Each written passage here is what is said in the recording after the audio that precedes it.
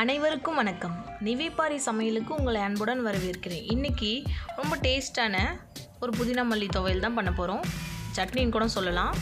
இதுக்கு ஃபஸ்ட்டு ஒரு ரெண்டு டேபிள் ஸ்பூன் நல்லெண்ணெய் ஊற்றிட்டு ஒரு டேபிள் ஸ்பூன் தனியாக ஒரு அரை டேபிள் ஸ்பூன் உளுத்தம்பருப்பு ரெண்டு காஞ்ச மிளகா கொஞ்சமாக தேங்காய் இதெல்லாம் போட்டு நல்லா வறுத்து எடுத்துக்கலாம்.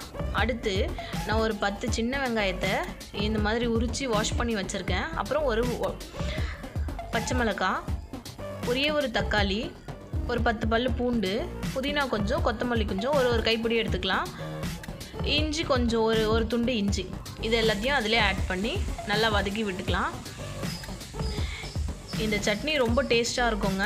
நார்மலாக நம்ம வந்துட்டு இட்லி தோசை சப்பாத்திக்கு அது மட்டும் இல்லாமல் ரைஸ்க்கு கூட இந்த இந்த சட்னி நம்ம பசைஞ்சு சாப்பிட்டா ரொம்ப டேஸ்ட்டாக இருக்கும்.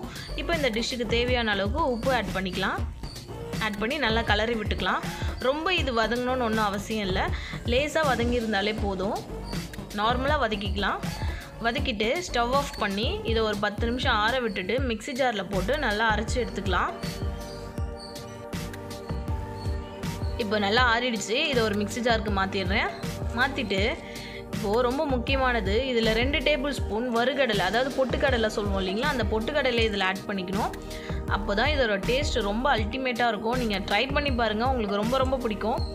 இப்போ இந்த டிஷ்ஷுக்கு தேவையான அளவுக்கு கொஞ்சமாக தண்ணி ஊற்றி ஆட் பண்ணிவிட்டு நல்லா அரைச்சிட்டு வந்துடலாம். நல்லா பேஸ்ட் பதத்துக்கு அரைச்சிக்கணும். இது இந்த மாதிரி.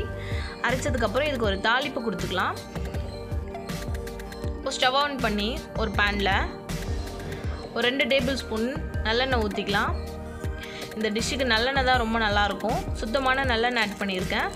கடுகு ஒரு அரை டேபிள் ஸ்பூன் உளுத்தம்பருப்பு ஒரு அரை அரை டேபிள் ஸ்பூன் ஆட் பண்ணிவிட்டு நல்லா ஃப்ரெஷ்ஷான கருவேப்பிலை ஒரு கொத்து ஆட் பண்ணி இது நல்லா வதங்கினதுக்கப்புறம் பெருங்காயத்தூள் கொஞ்சோண்டு ஆட் பண்ணிக்கலாம்.